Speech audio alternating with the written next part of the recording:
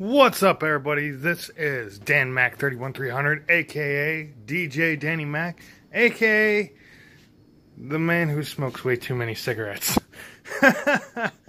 um, so today, actually, I uh, I had an issue, and I went and looked up a few YouTube videos about this earlier in the uh, earlier between the past two days. Ran out of cigarettes, didn't really know what to do, so I was looking at videos on how to dry out uh, completely soaked cigarettes. My wife, I love her to death, but she throws them in cans that are full of water. Um, and mind you, these are regular pop cans that she has cleaned out. She has thrown them in water. Uh, she has put water in them, and she uses them as uh, mobile little ashtrays. So, I was trying to figure out how to do this, and I saw a couple videos about microwaves, uh, using microwaves for like 60 seconds to dry out a cigarette. But mind you, that was for a different uh, purpose of the tobacco itself. So I kind of threw that one away. And I kind of found out that there really aren't too many videos on this. Um, so I'm actually doing a video of this myself.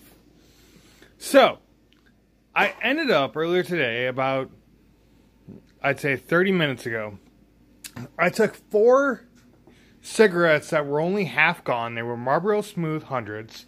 And yes, people, you can do this at home in your own house. You really don't need much of anything to be able to do it. All you do is you go and you take cigarettes, you put them on a stovetop pan. Now, mind you, it does have to be a flat pan um, or a rounded off flat pan the kind that you use for making scrambled eggs in the morning. If any of you know how to know that one, um, so you put it in there and you put a lid on it and you put it on really low heat for all about maybe five to ten minutes, um, and you just let it sit.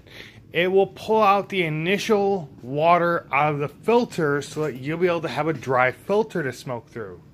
I don't know if anybody else has tried this before, but if you're trying to smoke a dry cigarette through a wet filter, it's not going to work. I have tried this myself. It doesn't do very well.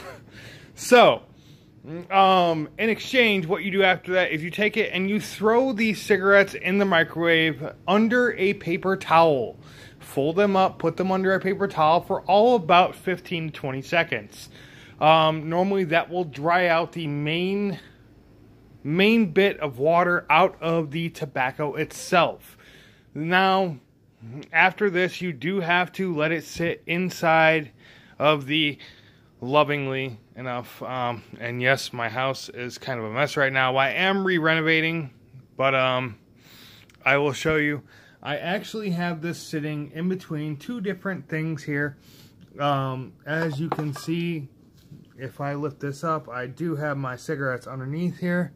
Um, but for the most part, if you leave them under there, and you're going to have to leave them under there for probably about a half hour to 45 minutes, maybe an hour at max. But this is a video that you can use to dry out completely soaked cigarettes, not just damp cigarettes. I'm talking ones that still, where you can squeeze the filter and you have actual water droplets coming out of the filter and onto your floor.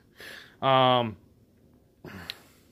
so, I know that not many people have done videos on this, uh, so I wanted to do one so everybody could, you know, DIY this themselves.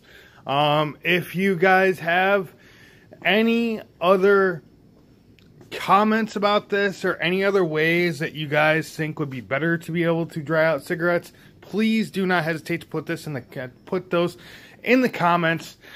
Um, because I do like doing DIY videos every now and again, and this is something that I felt kind of strongly about, so I did a little DIY video myself on this.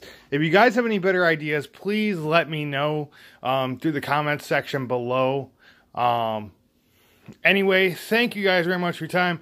This is DanMac31300 signing off. I will see you next time.